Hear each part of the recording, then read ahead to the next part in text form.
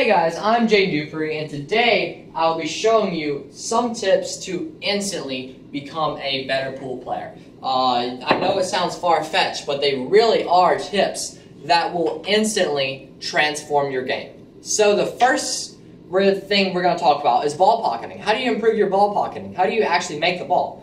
Uh, now, one tip that I have for you is to look at the angle of the shot.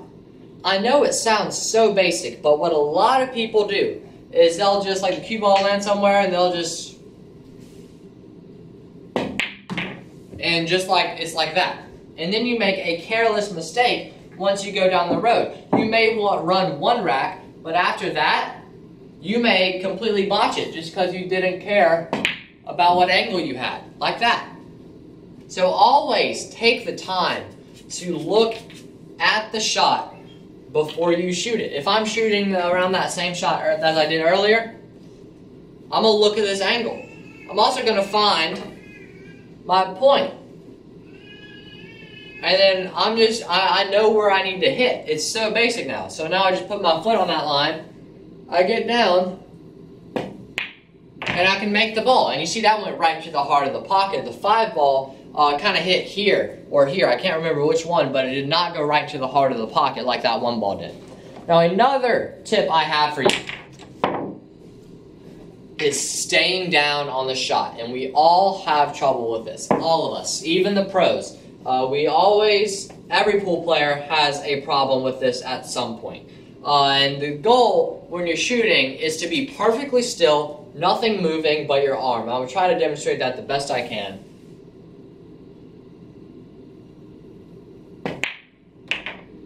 Just like that.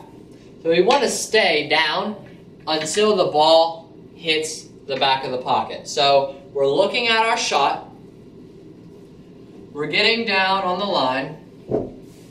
We're going to stay sturdy. We want to be as stable as possible. Stay down until the ball hits the back of the pocket. Now, there are a couple like stroke differences that you may need to correct with your uh, with your stroke and all that, but you can do that on your own time. Just know that with my stroke, uh, I don't turn your wrist like that. Do not turn your wrist. That's a bad little defect. Also, you don't want to drop your elbow too much. Like in the back, you don't want to drop it down like that on a normal shot. Uh, I'm going to try to demonstrate it. I don't know if my body will even let me because I've tried to get rid of that so hard. Uh, but it, it'll look like this. But you see how your tip goes up? And the only way that you need to do that is when you're doing like a crazy draw shot. So when you are drawing the ball back so far, it just becomes a necessity to drop your arm like that. And usually when you do a draw shot like that, your whole arm goes through. Like, it is crazy, but that's the only instance where you would really need it. Like if you're trying to power draw something like that, and you see it doesn't really work. I'm gonna tell you why. So when you drop your elbow, Notice the direction of the tip. So I'm not dropping my elbow here. I am going to drop my elbow here. Look how the tip goes up. So that means when you think you're aiming center on the cue ball, when you drop your elbow, it's going to go forward. So I'm going to aim center on the cue ball and drop my elbow. Watch the cue ball go forward. I'm aiming center, even below center. I'll aim below center. I'm still going to go forward because I dropped my elbow. And there will be a tiny bit of elbow drop, just depending on your stroke and your game. Uh, I have just a small, like little inch, but it does not affect my tip, so it's fine.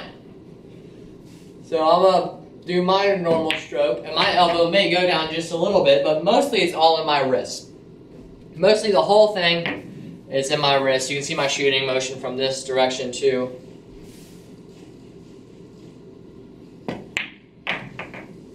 So the steps we have so far. So we have a shot. No matter what the angle, we're going to look at it. We're going to get down. We're going to shoot in our most stable position. We're going to bring it back. Don't drop the elbow. Stay down until the ball hits the back of the pocket. And I know it's so hard to remember.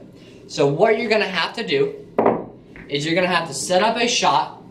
There's two ways you can do this. You can set up a shot, practice looking at the angle, getting down, staying stable, going through your pre-shot routine, keep your elbow up, stay down until the ball hits the back of the pocket. So you're gonna have to do that a few hundred times a day. Uh, I know it sounds crazy, but that's what you're gonna have to do. Now another thing you could do is do this. Just take a ball, look at the angle into the pocket, get down, stay stable, don't drop your elbow, stay down so the ball hits the back of the pocket. So this one you're gonna have to do a few thousand times.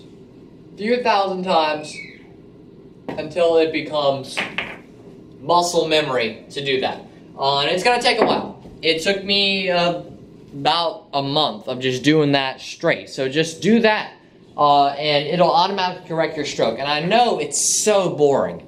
It's the most boring thing. People just want to play nine ball, pocket balls, but you really, really have to put time uh, into correcting your mistakes. And you may need to video yourself playing and put it next to a pro player who has like good fundamentals, like Ralf Souquet. Uh, so put your, that's what I did. I, I video myself and I put my game next to Ralf Souquet and Thorsten Hohmann and Mika Immonen. I put myself, my stroke next to theirs. Uh, and I looked at the differences, and I tried my best to correct those differences because they have they're very fundamentally sound. Now another tip I have for you, uh, and this is more of an advanced tip. So let's say we're playing a game of nine ball, and we have that right there. We have this situation right here. And what I need to get across to you is look ahead at the problems in the rack. So you broke, uh, part of the table looks like this. We're looking ahead at this seven ball, because this seven ball only has one pocket, and it's the side. So before I even shoot the first ball, I'm thinking about going from uh, the four to the seven in this case. What do I need to do to get to the four to the seven? Uh, so that's what we're going to think about. Uh, and the answer would be like this. We're going to get on that side of the four. See, I had trouble staying down there. And we're going to try to get over for the seven into the side. Well, if we can make the four, but we didn't even look at the angle there. See, I'm not, I'm not practicing what I'm preaching. Uh, but you see over to the seven, gonna look at the angle. Also, before you just get down and shoot a shot, see if it actually goes into the pocket. That's something a lot of players have problems with. Uh, they see a tough shot that almost doesn't go, and they just get down, think it goes, and just shoot. You could get lucky and cross bank it, uh, but also that, that's part of looking at the angle. You got to see uh, the shot.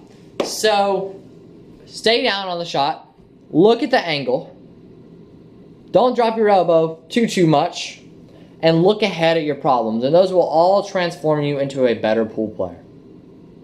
Thank you guys so much for watching. I really hope you enjoyed. If you did, please click the like button on the video. Uh, if you want to receive notifications when I upload a new video and you just want to be helpful, uh, you can press the subscribe button, then put the bell icon right next to it. That'll just send you an email and a notification saying that I uploaded a new video. Uh, if you have any questions, leave them down below. Also, check out my sponsors down in the link. So I have the description and then in the links I have all of my sponsors. Go check those people out. I have the iCue training ball down there if you want to further improve your game. I also have my apparel sponsor, uh, Brutal USA down there at brutalusa.com. So check those guys out. They are very, very, very comfortable clothes and they're also wonderful people. So go and check those uh, out. I also have a deal on Amazon. So uh, I have every video I find a great billiards deal on Amazon on a product that I use that's on sale. Uh, and so I go and put that link in the description. So you can guys, you guys can go check out that link in the description, find that Amazon deal. Uh, so thank you guys so much for watching. Subscribe to the channel, and I will see you in the next video.